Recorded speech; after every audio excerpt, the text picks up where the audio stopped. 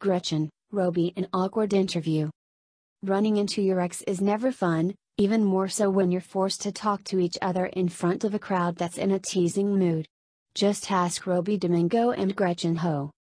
Things got a little uncomfortable for the former couple, who shared the stage at a smartphone launch held Thursday evening, a clip taken by ABS CBN News Rhys Buccat showed.